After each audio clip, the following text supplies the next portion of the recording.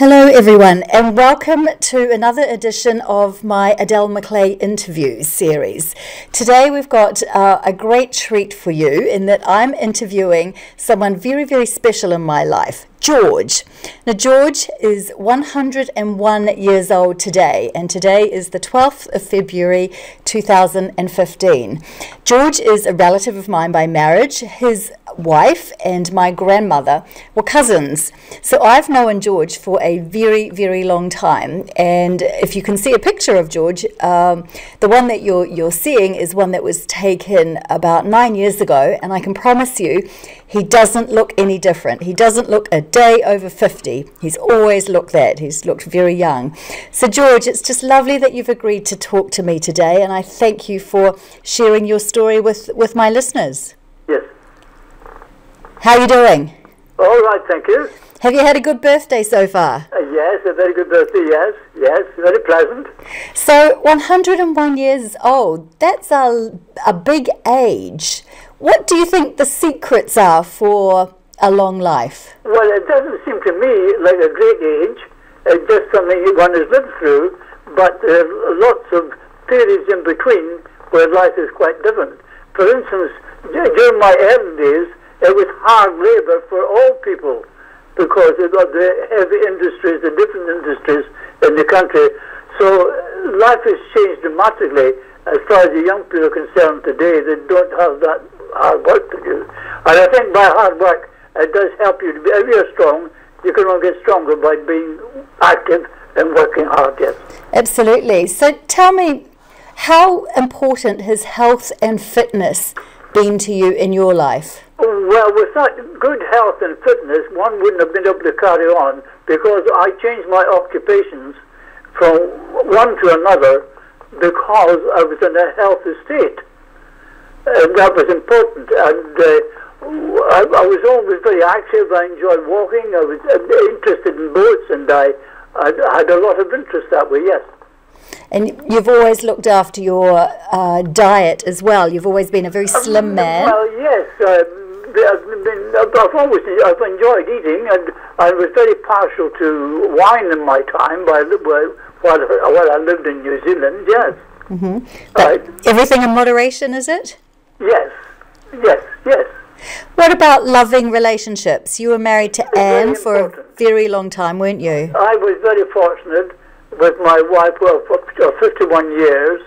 Uh, we married young, 20 and 17. Wow. And uh, by 25, time was 25 year old, we left Scotland from the heavy industry to, to go to New Zealand. Uh, and that was quite a, quite a complete change. Uh, we had a loving relationship over those periods, I would say. But again, uh, my new life, I have a friend, a lady friend, who have done, who have travelled extensively in Europe mm. and to Australia. Well, after Anne passed away a few years later, you met Mary, didn't you? And you've, you've developed a wonderful long term friendship with her. We have two flats, one uh, with just the, the, the, the lobby, as it were, in between the, the, between our flats. And uh, I've been out there for lunch today, so uh, yes, we have a very good friendship, and it's, it's, it's, so important. It is.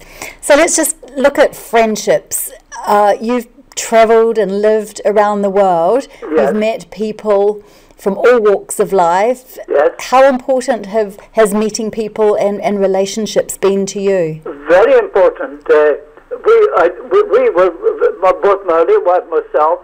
We, we had two doctor friends and, and, and one with a wife and that, for many, many years, they have now depart, departed us by about 10 years ago. And they, they were friends over a period of probably 30 years. Uh, we had close friendships with them. Uh, yes, friendship is very important. And being in organizations too.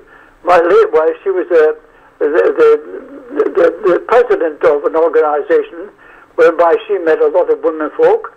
And uh, I too had been president of a debating society in, in Auckland, mm-hmm. and uh, it was a stamping ground for young lawyers. So that was an experience, and of course, it meant you met, you met a lot of people and became very friendly with some too.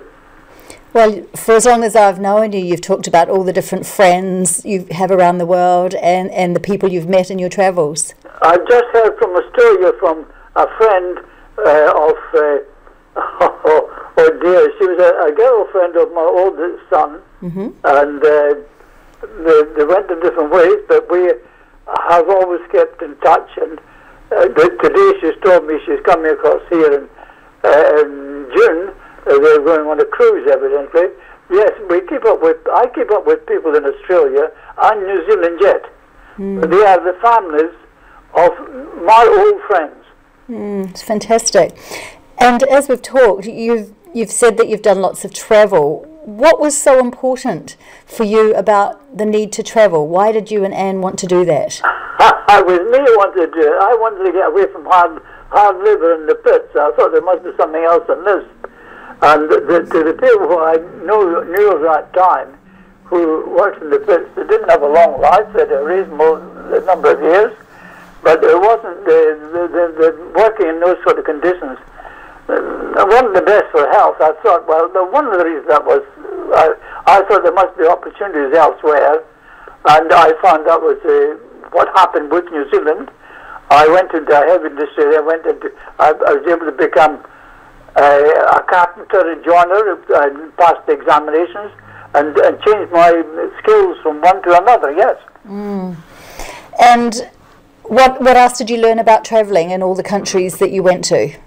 Um, well, with tra- travelling, well, we've travelled all, all around Spain, mm. and, and, and Portugal. We spent a lot of time in a lot of time in Portugal, and you learn something about the people, how they how they live. Uh, the important thing, of course, as far as we were concerned, when we we, we entered the sports when we were overseas. For instance, we played we played bowls mm. uh, and they found some uh, things of interest. Uh, things of interest that way, yes. Mm. But and you've always been interested in ongoing learning and reading and and uh, politics. Yes. I left school at 14 and finished up with a bookshop at, when, before I was 60. So I've got that part here. With learning and reading, I had a bookshop for nine years. It was a three-story place with, with books, so I had enough reading to do. And I met a lot of people too during that time who were very well educated in, in the reading and in, and in books. And that helped someone who, like me, uh, this is uh, something new. Uh, but we, we, had, we had, my wife had, the, had a business next door. Uh, she was, uh, uh, I would say, a, a lady of talents, which was stood in good stead when we, one was, one was in employment, the other one was. But about learning and reading, well, I did my share during that period, yes. It keeps you alive and, and interested in life, doesn't it? I think so. Uh, I've got uh, people who come here and we, we talk, but I've just given some books to, which are a bit different to a friend of mine just a, a day or two ago. I've still got a bit of a stock, and uh, but I'm not the reader that I was. No, not mm. now. Mm. But, but I enjoy my newspaper, which keeps me going for a couple of hours at least uh, during uh, during the day. Right.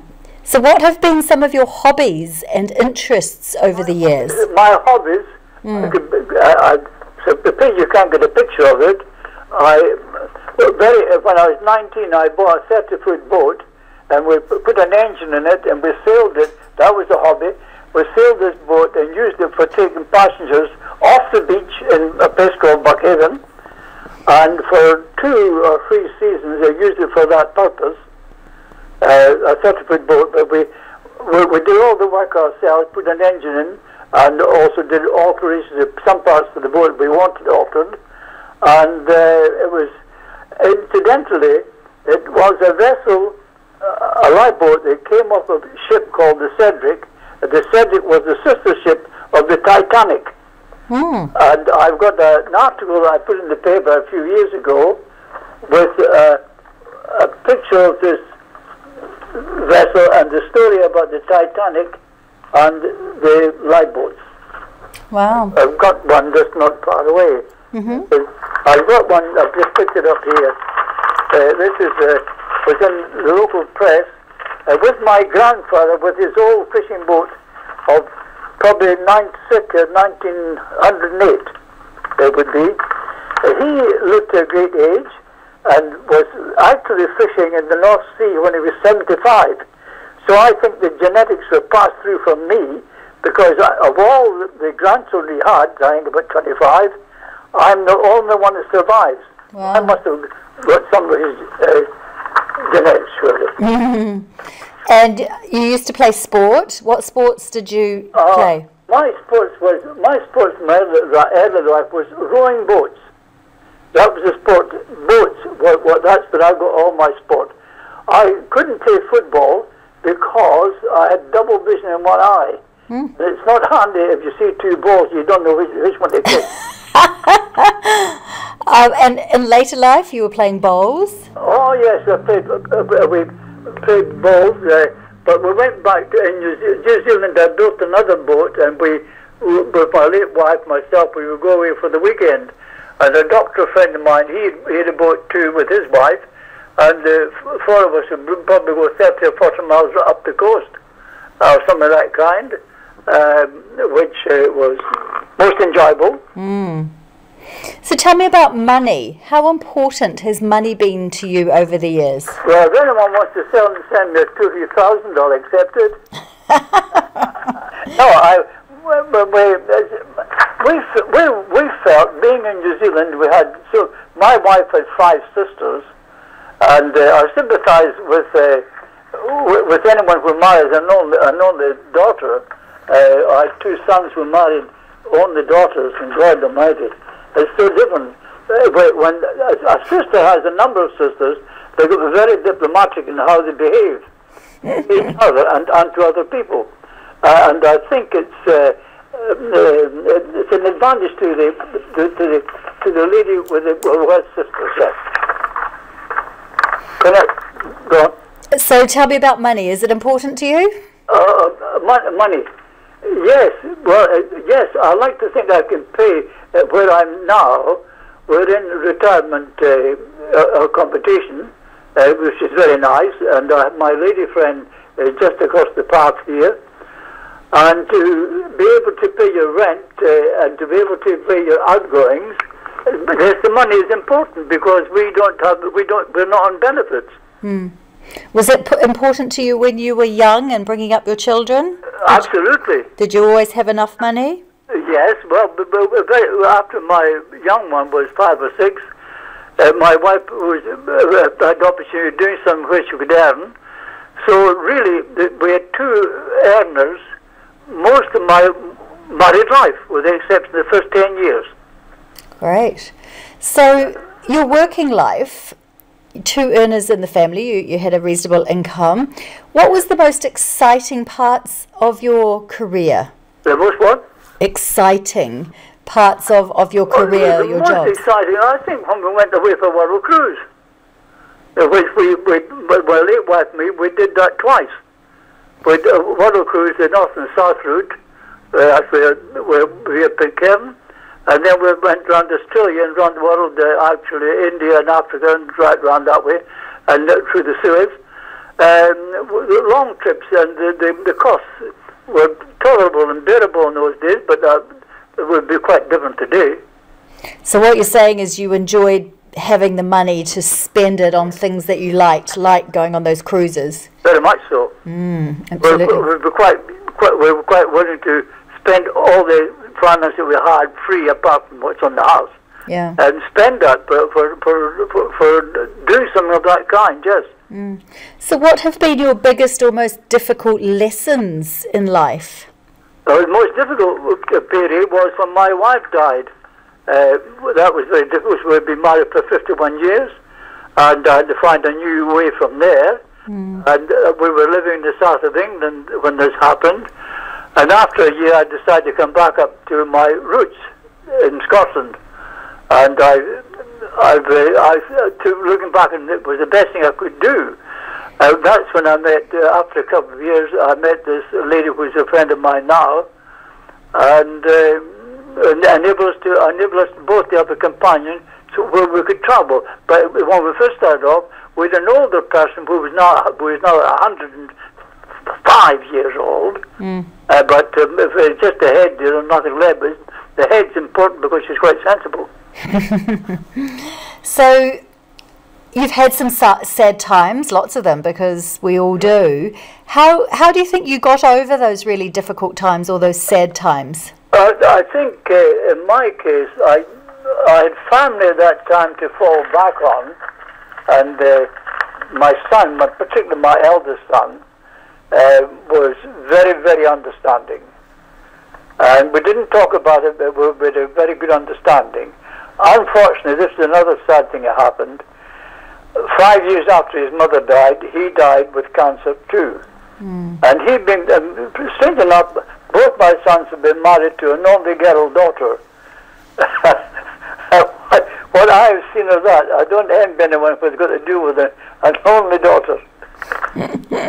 I'll just laugh. Oh, we won't say any more. Um, so, what are your tips for us young ones? So, what do you think we should be doing well, to have I, a good I've life? a lot of walking. I, I would walk for miles uh, over the, some of the hills up here, and uh, always doing something physical. I think that's important, mm. and I do think as one gets older, cut your food down by half, mm. and make sure you're eating the right stuff. I think that's important. Mm-hmm. And what else? What else? The exercise. I say, keep yourself fit by exercising. Yes, mm-hmm. as much as possible, as much as you're able to do. What about your mind? What about keeping your mind active? Uh, well, uh, I enjoyed. Uh, I've, I've, always enjoyed. Uh, for instance, I, I was chairman of a debating society at one stage. So I, I, while I didn't have the education that some of those people had, I managed to keep them keep them in check. But as chairman anyway, uh, and another organisation. Since I came here, I was president of the Oxford Scottish, Scottish Society, and uh, I could do uh, some of uh, Robert Burns's uh, note to haggis and all this sort of stuff. And my friend uh, was a doctor. We were kept in close touch, and he was a very good orator and a very good public speaker. So he used to do the the, the members of the, of the of the poet. Yes. Mm, brilliant. So, what are your fondest memories as you look back at the life you've had so far? What do you remember uh, in the in the nicest or kindest of ways? What do, uh, what do I remember? Yeah. What are your best memories? Uh, well, in Scotland, uh, people had to work so hard. Uh, there was uh, quite different to the age we're in today. Uh, I very, and yet I very fond memories because we had we had a boat. We had uh, that as a child, a youngster, and we can get down to the sea and. That, the, those were good memories, and getting to the sea and swimming in the summertime those are very good memories of my childhood. Mm-hmm. Uh, I, I, think social company is important. Even today, uh, I enjoy having company. Mm. And I think that's important, where you exchange views, whether you believe them or not, it doesn't matter. you don't change, do you, George? you like to challenge people, don't you? Yes. Get people talking. Yes. Uh, I, I quite quite enjoy having a chat. And, um, I, I may have opinions other people differ with, but uh, um, I enjoy, I enjoy listening to the politicians. Talking a load of rubbish, you mean? Very much so, but again, I don't think they can do. I don't think they can govern this country in any other way. they, they've got to talk rubbish and do to uh, what I find the aristocrats of this country, they keep very quiet. They think that 460 people own Scotland, and they're told they can't get they can't get the money to, to buy a plot to build a house. Surely, if the government is going to sense of pass laws and regulations whereby we get that land we need, because how they, they stole it in the first place.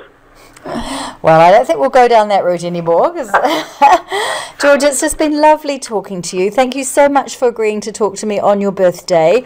and I know my listeners uh, will really enjoy hearing what you, as, as a gentleman who's 101 years old, has to say about life because I'm sure not many of us know people who are as um, aged as you, shall we say. Thank you for listening to me. It's my our pleasure. Have you signed?